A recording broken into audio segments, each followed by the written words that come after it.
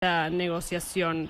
Él ya conversó con Milei sobre cargos. ¿Cómo sentiste vos toda esta situación, eh, sabiendo que él venía apoyando también a Milei?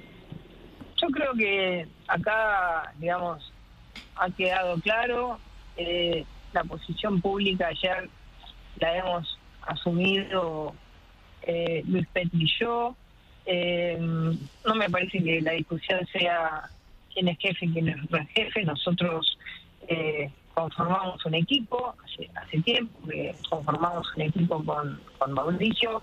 Eh, estamos legitimados por la sociedad. Nosotros, a ver, nosotros ganamos una paso. Acá puede hablar Gustavo, Gerardo Morales, Horacio Rodríguez La Venta, todo lo que quieran. Nosotros les ganamos. Les ganamos todos los dirigentes juntos de un lado y nosotros.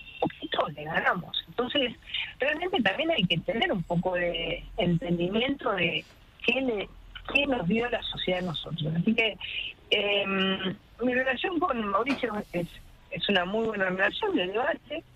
Em, yo tuve eh, eh, la decisión de, hacer esto eh, y se lo, se lo planteé a, a Mauricio, le planteé una discusión que estratégica, no una discusión táctica de si votamos o no votamos, estratégica. Ustedes quieren, eh, le dije, nosotros queremos que la Argentina tenga de nuevo, como tuvo en el 2003, como tuvo en tanto tiempo, un partido hegemónico único que se constituye en el que en el que una aspiradora que se come a todos los demás partidos, como ya pasó tantas veces en la historia de Argentina con el peronismo, el kirchnerismo, como le quiero decir, o querés tener fuerzas pares.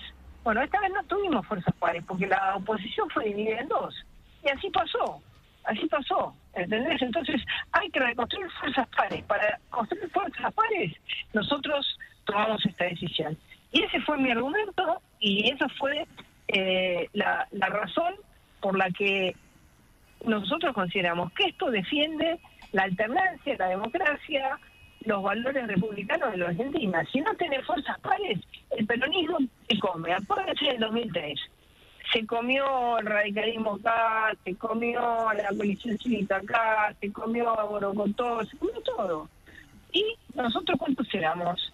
Yo me acuerdo que en la votación de IPF éramos 26, no existíamos. Entonces, eh, el país entra en, una situación de desequilibrio y yo quiero cuidar el equilibrio, el cambio, por un lado, ganar, que haya un cambio en la Argentina, y, eh, y cuidar el equilibrio, que no es un partido único. Ya vivimos mucho tiempo con partido único y así estamos.